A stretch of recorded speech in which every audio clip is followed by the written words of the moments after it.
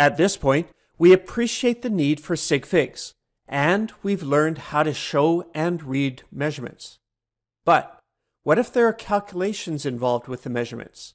How do you know how many sig figs to show after this calculation? For example, if you had to add some measurements together and they came from different sources, say, then how many sig figs would we show in the answer? In this tutorial, we'll consider the addition or subtraction of measurements.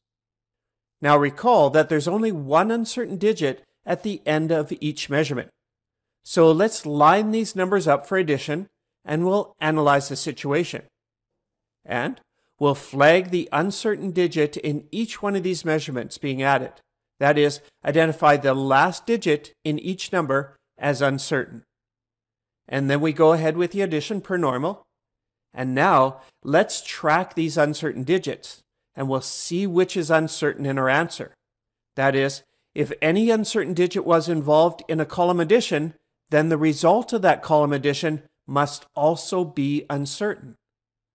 So the uncertain 4 here, yeah, that's still uncertain. And in the next column over, the uncertain 5 causes the resulting 7 to be uncertain. And likewise, the uncertain 2 causes the 3 to be uncertain.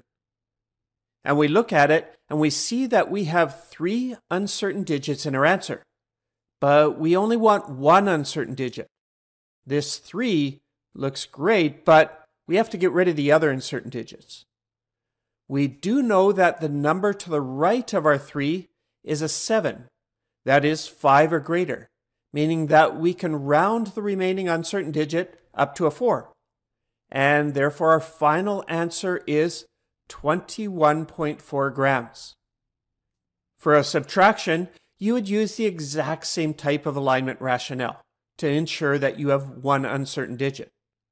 To review, when dealing with an addition or subtraction of measurements, you'll line up the decimals, do the operation, and then track the uncertain digits down to determine which digits in your final result are also uncertain.